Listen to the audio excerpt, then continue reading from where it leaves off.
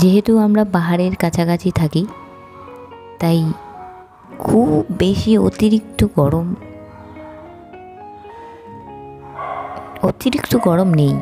মানে কলকাতার মতো তো না, বাট গরম আছে কিন্তু কাটিয়ে তোলা যায়।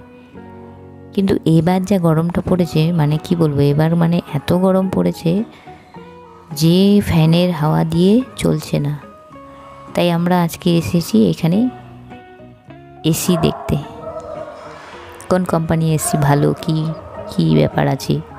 কি কি সব আছে? এইসব আমরা আজকে দেখতে এসেছি। ওখান থেকে বেরিয়ে আমরা এই দোকানটাতে আসলাম। দোকানটার নাম বনলতা। এখানে দোকানটা নতুন ওপেনিং হয়েছে, কিন্তু দারুণ দোকানটা চলে। মানে সব সময় দেখি এত লোক, এত ভিড়। তাই আমি ভাবলাম যে আমরাও আজকে এখানে একবার দেখি। বনলতা স্বাদের বাহার দোকানটার নাম। তো এখান থেকে আজকে আমরা একটু খাবার দাবার নেব।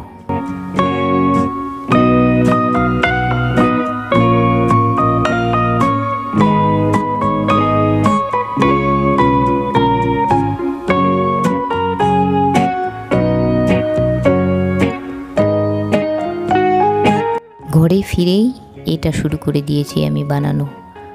এত গরম মানে এটা খেলে ভিতরটা মানে কি যে শান্তি হয়।